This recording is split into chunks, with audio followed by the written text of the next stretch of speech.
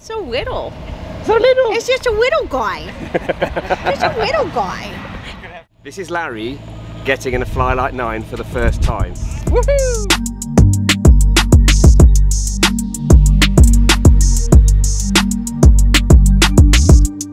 So everyone and welcome to the channel. The journey starts here for Sun and Fun and uh, I've gone through security, clearly can't use any cameras there uh, and basically I'm now on the other side. I, hang on a minute. Hello. Those that have been watching the channel for a while will recognise this gentleman behind me.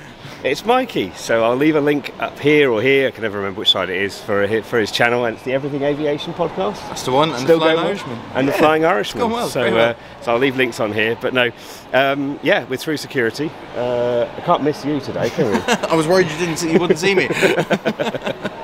so yeah, no, uh, all through security, uh, bags all checked in, and uh, say just going to go and grab a coffee now, aren't we? I think so. So uh, I'm going to leave a little bit of montage of us getting through to Florida. So I'm not sure how it's going to pan out, but hopefully you'll enjoy it. Stick through the video. I'm not sure how many videos I'm going to make, but it should be good fun, shouldn't it? Always. Yeah, it's a shame he has to stay here and work, and Yeah, I, I, I he's get going to. out going to be a display pilot, and I have to stay here and make sure he gets there. Don't, don't tell everyone. Don't tell everyone. Cool. Well, hopefully you've enjoyed the intro, if nothing else, and uh, I'll join you on the other side when we get to Tampa Bay, uh, etc. So join you on the side.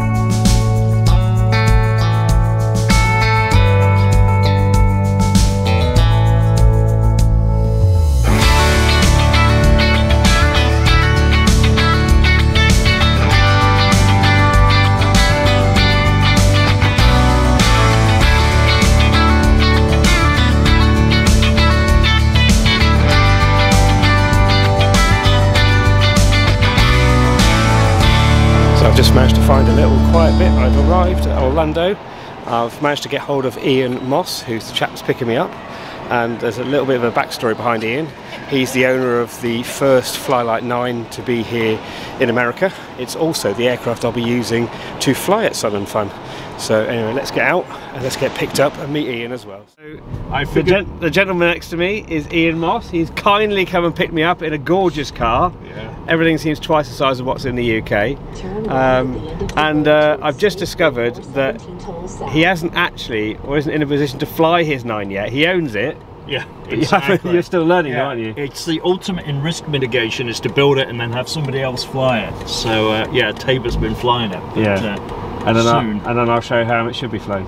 exactly. Yeah. yeah. If the wind drops. But how far from Orlando to Tampa is it? Where we're going? It's going to take us 49 minutes apparently. Right, so Yeah. we've got about an hour's journey to go. Um, but yeah, this is the other end of the journey. It was nine and a half hours to get here. We arrived pretty much on time. Customs was good. Immigration, was say bag- baggage claim was the actual nose, but, but customs was good.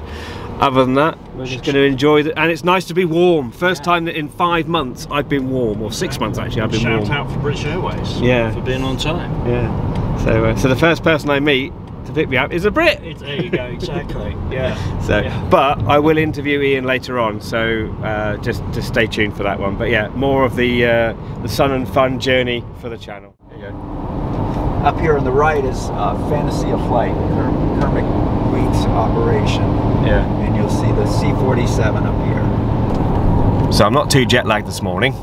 We're all crammed in a vehicle, um, and we're uh, we're off on our way to um, to Tampa from where we were at. Uh, where, where are we staying again? Davenport. Davenport. Yeah. I'm confused. I have no idea where I am at the minute. Um, so we're all crammed in the vehicle on our way there, and um, yeah. And if you can see that in the background, Oh, there it is. It's right up here on the right. Yeah, Kermit Weeks. The uh, C-47. It's a little rough. Hey. I think it needs a. Needs, needs a bit of TLC that does. So considering, considering I was awake for nearly a whole day yesterday, I slept really well. Uh, and, and so I don't know what time it is. It's about seven-ish in the morning, and we're heading over for day one of Sun and Fun. Let's see what fun and games happen today. And uh, yeah, I'll keep vlogging with you.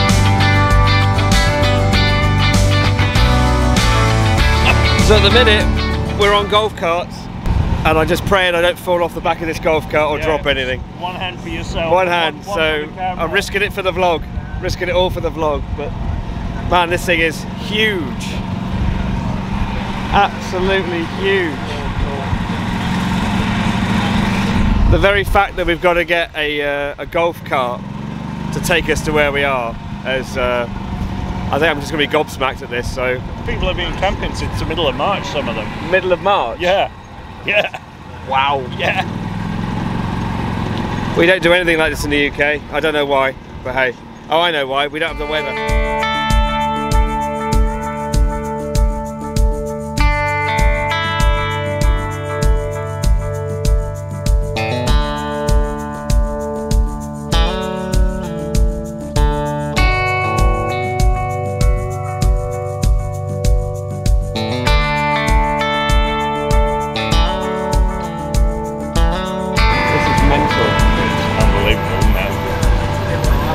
Don't think this is going to do, the camera's going to do justice just how far we're going at the minute. yeah, we've been driving for like 10 minutes. Yeah, so I'm not going to do huge vlogs, but I'm just going to do little snippets of what's going on just because there's so much. I still can't believe we've been camping here since mid-March for this. We will be going and seeing Vittorazi later on. Go and talk to those bad boys.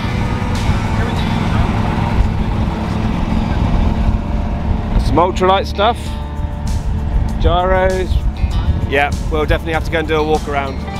But that's probably the best way to see it all quickly is on the back of a golf cart and not falling off. So here we are, you'll have seen some of the video footage of us trundling in. We've got the four display Harvards um, going around practicing at the minute, so radial noises everywhere. I cannot believe how many aircraft there are here at the moment. But we've got the blue collar um, Sky Ranger that's here, and also Ian Moss's 9, which we're just rigging in the background. And so the stall is starting to come together now as well. Um, and I'll jump to a little bit of a quick interview with Mr. Rick Davies of Florida Flight School. So here's over to Rick. So those that have followed me for a while will know I've actually followed this gentleman. Rick, What's up, let's guys? get, let's get the sun, let's get Florida Flight Sports in the background. There we go. Yeah. How's So that? All I've right. literally just whizzed past in a golf cart and I saw him and thought, I've never met, but we've corresponded for how many years now? many years. Yeah. Quite a few years now, haven't we? Five years, five, six Yeah. years, probably. And so the only thing I can do is at least return the favour and put Florida Flight Sports in the vlog. Heck yeah. So uh, awesome. you're here all week? Yes, all week. Yeah, Good to meet you in person. yeah. I am really short in person. so again, it's a very, very small world here, and I say I'm just in awe of just how big this uh, event is. And behind me over here, right now, that's actually the demo line for the ultralights. So that's where hopefully I'll be flying later on. I think we've got 40 knots on Thursday, so I don't think I'll be flying Thursday. But other than that, we're going to take every opportunity we can to uh, to show flex wing flying over here in America. But I just I've just noticed there's a Mustang over there. Oh, I say I'm going to have to go and get some more footage of walking around the place. But other than that, I'm happy. And I'm not wearing a coat or gloves. Again. So hopefully you can hear me over the, uh, the noise of aircraft flying around um, and the wind. It is a little bit windy here, so we're not flying today on the demo slot. The, dem- the demonstration slots start tomorrow. And we thought I'd missed the pilot briefing. So on the screen now, you'll see the back end of the briefing I missed. Um, and I've got to go at four o'clock today to get the next briefing. Um, but in short, I'll get that briefing as a follow-on uh, daily briefing at eight o'clock in the morning that will then allow me to fly on the demo slots. But as you can see, and hopefully I'll be doing a bit more of a walk round uh, to show you what's going on. But just so many stalls, so many different types of aircraft here. We've had Mustangs flying, Harvard four ships. Yeah, I'm just uh, yeah, a kid in a candy shop at the moment. So, uh, and there's a Mustang just taking off now as I'm chatting to you on the camera. More's going on now. We're going to go and grab some food because I haven't eaten in the last five five hours. So uh, more food for me, and uh, I'll keep you abreast of what's going on. So enjoy sun and fun. What was it? Sit in and swing your leg over, is it? Yeah, yeah. Swing your leg over. Yeah. The rudder pedals, when you rig them, can be. Yeah. Come in. Rob, I can't wait to see your machine, mate. Sure to tell him, Rob. This is Rick Bennett. I talked to you. I you. Hi. So I've got the Sun and Fun hat, but I'm going to take it off for this. Um, for those that know me, though, I've got an absolute passion for the P51 Mustang and the Hurricane. You can keep your Spitfires, uh, but these are a nice small version of a Mustang. Uh, however, I don't think I'm going to get away, get away with buying one, uh, but they do look absolutely amazing. So yeah, another little stand here, and hopefully you'll be seeing now an interview with Lewis Dix from LewDix Aviation, and uh, it was an absolute pleasure to uh, to meet and chat with you today, Lewis. So thanks very much for your time. Right, so another element of uh, sun and fun. Those that have seen this channel before, nobody's heard of your channel. No, it's, yeah, it's No. not many people. All, all three of you. So I luckily managed to in- Instagram uh, Lewis. Uh, was it about a week ago, wasn't it? A week ago. Yeah, and you actually responded to I know, me. look at that, which is actually very out of character for me because I get a- quite a few messages. Yeah. And uh, a lot of them I get, uh, uh, I miss. Yeah, Obviously, so- your face just Oh, really, dear. really resonated with me. Oh dear. So I think the Brits are just slowly taking over Florida now, aren't they? Yeah, we? exactly. We're slowly. Yeah, you would- you Yeah. know, we're recolonising. That's, that, that's what it's about. Taking it back. Taking it back. So, but we had to get flying eyes in the background. Yes. Yeah. And, and do you own a pair of flying eyes? I, I do, yes. Yeah? Yeah? yeah, I've been flying with flying eyes for, for quite some time. Very, very Yeah. good sunglasses. Yeah. So, yeah. So uh, Lewis actually gave me a few pointers on, on how to try and improve my channel. Whether it'll work or not, I have no idea. but for me, I'm just being able I'm to. still trying to take those pointers for myself as well. So uh, we'll see who gets there first. But I think I like the, the main bit about it is the fact that most of your flights involve with laughter. Yes, absolutely. I think Yeah. you've got to, you know, we, we pay a lot of money to do what we do, Hmm. and you've got to have fun doing it. You learn more when you're laughing. Yeah, exactly. You know, you, you retain more information as like as a flight instructor. Well, sorry, going back as a student, I was sometimes made to feel with certain flight instructors like you know they didn't want to be there, and it really impeded, you know, and stopped me from, from learning a lot of. Yeah. So as a flight instructor now, I want to make training as fun as humanly possible for, for the students, and it, it works. You know, it, it really. I, I run a no apology aeroplane. You're not allowed to apologise. there you go, exactly. Exactly there you go. that, yeah. Even if you do break a strut. And for those, I am actually this short, or he is just exceedingly tall. How tall are you? Uh, I'm six foot two. Well, that makes me feel a lot better. So, uh, but uh, but anyway, Lewis, Yeah. thank you so much for taking time. Absolutely. All right, and, and we'll catch you later. Definitely. Bye-bye. Appreciate it. mate. Hold, hold that thought. Hold that thought. Right. So I'll take my hat off. Take my hat off. So another little insert into the video. I hope you enjoyed the video thus far. We've got Kevin and Rob behind us who are doing all the aircraft checks because I'm hopefully going to be flying this aircraft in the manufacturer demo line, the nine here. Those that are fo- following the channel know I love my nine. Um, Kevin and Rob, uh, is there actually anything to check on this aircraft? for us, being a, a legal 103.3 ultralight, we don't have to look at anything on this aircraft. Yeah. So you are the easiest inspection we've done today. Thank you. However, we've been here half an hour talking about the aeroplane. yes, and if we don't get to work, we'll be here another two hours. yeah, there you go. But uh, Oh dear. We're being interrupted by the Harvards displaying overhead. So, uh, do they need to be inspected as well? yes, Yeah. he, he does a lot of. work. Yeah, You'll be doing those as well. So, uh, so what's your background? You you touched on the fact you do commercial. avi- mechanic for Southwest Airlines. yeah.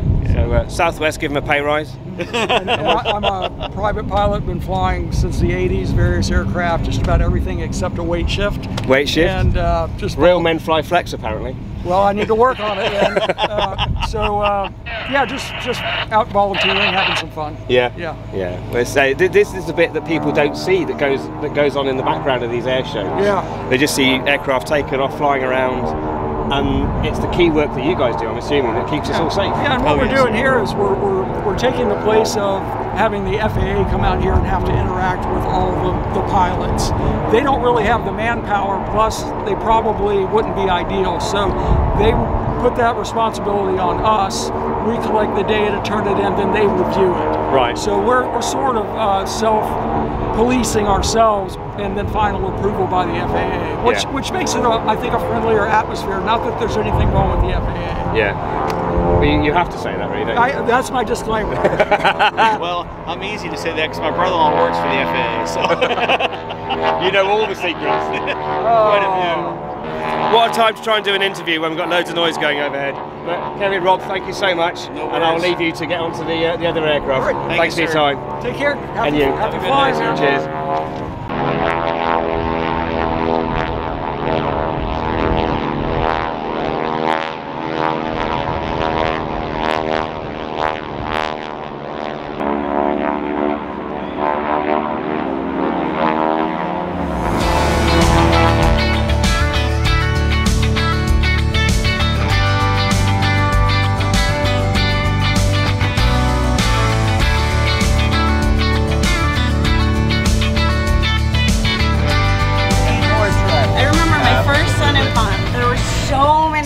So, strikes so there. Larry's come to see a real trike now, and I'm not sure where I'm going to put this in the video. So if you haven't seen our interview, go and look at the previous video. So Larry's come over to see the nine. And what was your first comment about the hang block? I said it's like a real hang block, only smaller. So this is your first look at a uh, a nine, isn't it? It is, it is, and as I was telling you at our booth, that uh, this is the first thing I've been excited about in the trike world in a decade. Nobody's really come up with anything as a new idea. Um, this is a new idea, and I've thought of this idea. I mean, if you had a light enough trike with an itty bitty tiny wing, how cool would that be? And uh, obviously, you've had the Ben, carriage ben, and, ben and Aeros have done it. for sure, Yeah. for sure. I mean, just looking at this wing, it doesn't even look like it should fly, let alone have a 26 mile per hour stall speed. But Yeah. it's all about wing loading, isn't it? Yep. And Aeros just does such a beautiful job with their wings, and uh, I've uh, flown uh, quite a few. In fact, I had a little bit of input on the uh, Profi TL airfoil Yeah. uh, when it first came out. And uh, Sergey uh, Dobrashov, I guess he went with it. They tested it. They said, yeah, that works. And we liked it. So um, I know Aeros well. We've uh, bought a lot of wings from them back in the day before started when we were with Apollo. We Yeah. used the Aeros swing, So Yeah. there's history there. Yeah. So, you know, and these cables, they're so little. Everything is scaled down. So amazing. I say scaled down. You say, well, this is normal. Mine This is normal, beefed up to a ridiculous amount. Uh, th- these are real wheels. They are. Okay. I can I pop it if I squeeze too hard? So I'm, I'm going to so step cute. away from you for a moment, Larry. Squeeze Amy, this. what's your first impression of the Happening, nine? Rob? Oh, this is really, really cool. I was just checking out the wing. I was asking about the speeds and stuff. It's amazing that you can go that fast with this little guy with such a light trike. It's got to be one hell of a ride. 1100 feet per minute climb rate. Oh my god, that's insane. That's just awesome. Yeah. No, this is really, really And, cool. and I know it sounds really corny, but it just looks fast sat on the ground. it does. It looks like it's so much fun to fly. It's so little. So little. It's just a little guy. It's a little guy. You're gonna have to use that for the opener. You've got No, hook that's written all really over it. You're on the you're on the intro for this one. Oh yeah. god. Yeah. This is a little guy. It's a little guy. and then It's just a Larry. little one. A real hang block, but smaller. No, it's really cool. Seriously. I mean, I can't even imagine how it feels to fly it. Is the controls like It's- ridiculously light? It- it is light. Yeah. Light in pitch. It's reasonable in roll. You must Um, get off the ground in like 10 feet. No, it's got a. It, it wants to stick to the ground. Really? Yeah. Uh, Um, compared to what you're used to flying, Yeah. we rotate at 70 in the Revo that you just sat Well, in. yeah. Right. Okay. So. But the rev, I mean, the rev got off really fast. Rev's a 100 foot ground roll, and this is about the same you were saying? Yeah. Yep. Well, if I get the briefing done out today, you'll. Uh, I get to fly it tonight. Nice. And hopefully you'll be able to see. And I'm not, not That'd going to. awesome. So, can we have a seat? you can have a seat. This is Larry getting in a Flylight 9 for the first time. Woohoo! All right, let's take a look here. Well, that's just too easy. Wow. Holy cow, is this low to the ground? and you know what I That's your hand. thing That's your hands off trim position. first thing I really really like about this is the control bar's not up here. This is so nice. So nice. And uh, now, I didn't think this windshield was very big, but I can see I'm clearly behind the windshield. So plenty of windscreen here. I need, a, I is- need a picture of this, Larry. Absolutely. I mean, this is cool. I was so excited. I knew this was coming to the show, and I wanted to see it, and it did not disappoint in any capacity. This is really cool. So different, and again, just different to me. I've never seen the carriage, but I am all about this nine meter wing. This You look uh, up, and there's just nothing there, is there? yeah. It actually uh, looks to have about the same wingspan as our competition 11, so that's a 27 foot wingspan. I assume this is almost longer. Is it a little over 27? Is it don't know over nine the- meters? Yeah, I don't. Yeah. Yeah. this looks like it's got a little bit more wingspan than So the aspect ratio, is but really higher high. aspect ratio. Yeah. Yeah. And of course, you're going to get more efficiency. Shorter wing, you'll get maybe a little more handling. But when you're this light, you're not looking for more handling. This has got to be the Lotus of trikes, Yeah. the Lotus uh, Elise of trikes, or something like that. But So uh, can you store it? Um, you, I know you can soar the PB with the Adam wing. That does soar. Um, you do get lift, but the the difference with this wing, in the, I mean, I've flown it namely in winter time, in either rough air or smooth air, is that it cuts through turbulence. absolutely. and you, I've flown it in really strong crosswind days, finding the comfortable limits for me, and What like, are your comfortable personally with this combination? What, um, what's comfortable? 10, 12, 90 degree cross, No problem. no problem at all. Wow. Just bring it a bit faster. So what is what is the typical approach speed with something like this? Um, you're gonna laugh about there. All right, and that gives us in miles per hour. No idea. No idea. No I'm idea. the same way. Yeah, I get don't- questioned all the I've- time. I mean, we had this discussion in a video I did recently about do you need an airspeed indicator? Forget it. Yeah. Hands hands off trim is about there, So And this then- is neutral. This is energized. and that is ballistic.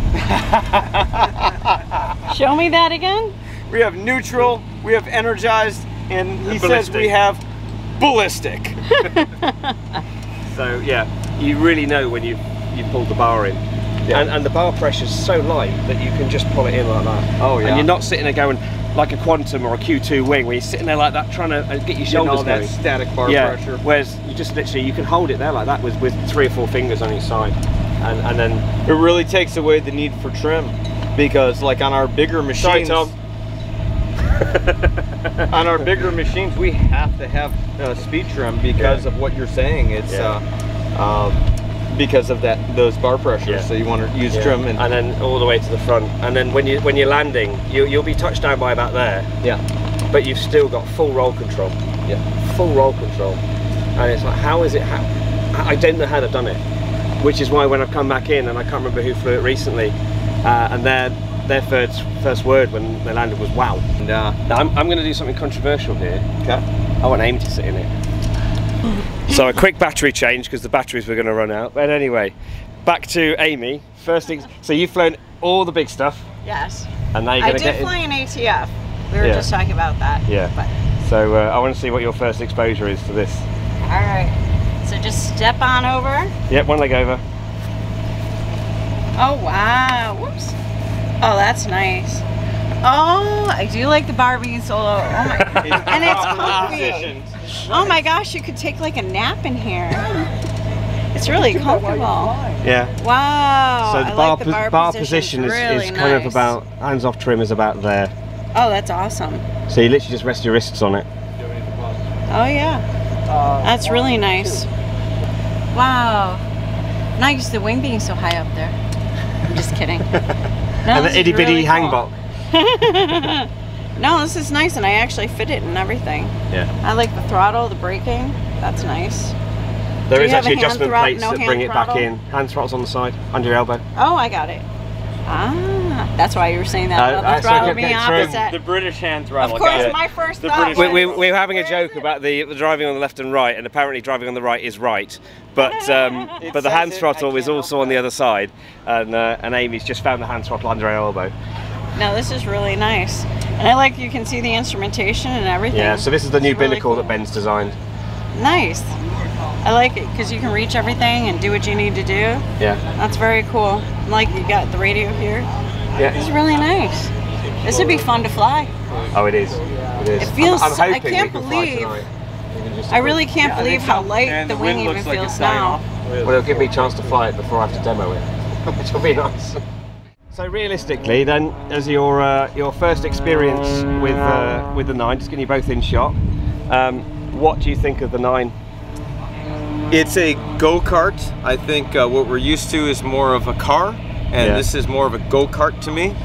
um, which go karts can be a lot of fun. Yeah. Uh, it's little, uh, but I know just based on the size of the wing that uh, I have a pretty good feeling. I, uh, this is an amazing flying little trike here. I'm. Amy? I definitely think this would be a lot of fun to fly.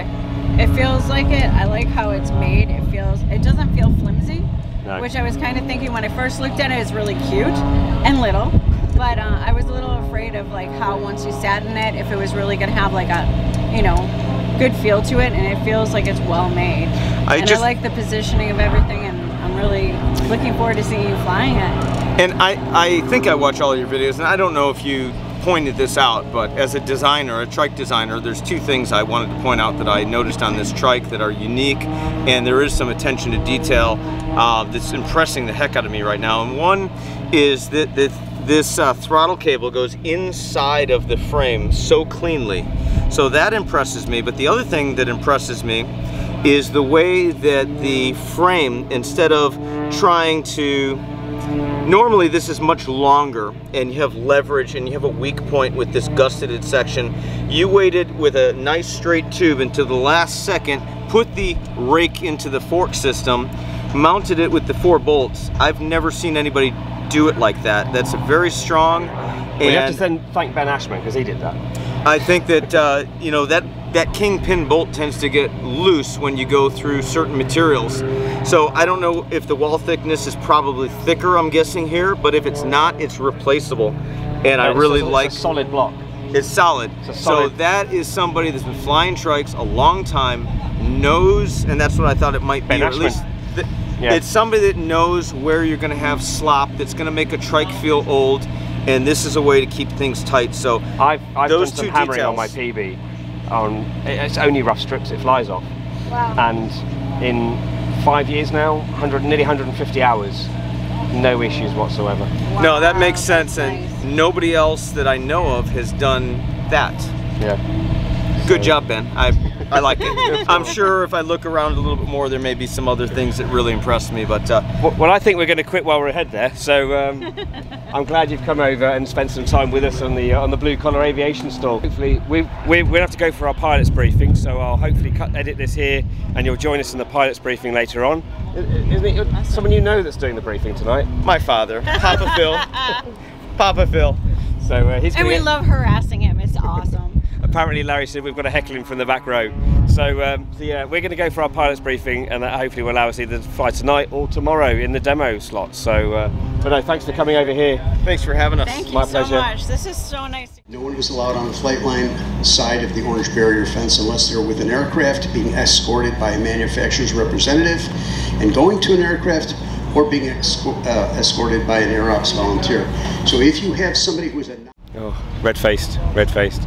Right, everyone. So end of day one outro. We're just closing down the uh, the area, and uh, wow, had the pilots briefing as you probably saw, and say just uh, making sure I don't screw up tomorrow. We've got another briefing at eight o'clock. So this pretty much wraps up day one. Stay tuned for day two, and we'll see what fun and games that brings. But hopefully that will have given you more of an understanding of what's going on, and hopefully you'll have seen. Well, wait, stand by for Larry Mednick's video um, of all the Revo products, Evolution trikes, etc. And that's uh, that is one to watch. So this is pretty much wrapping up day one. I hope you've enjoyed this video. More to come. I have no idea what's going to happen tomorrow, but we'll go with the flow and see what happens. A little bit red-faced. Hopefully, going back and put some more sunscreen on later on, um, and find my hat somewhere. But other than that, I've had a fantastic day here at, uh, at Sun and Fun in Tampa, and yeah, how do I really wrap up this without knowing what could happen tomorrow? So stay tuned for the next video. See you in the next one. Until next time, everybody, fly safe.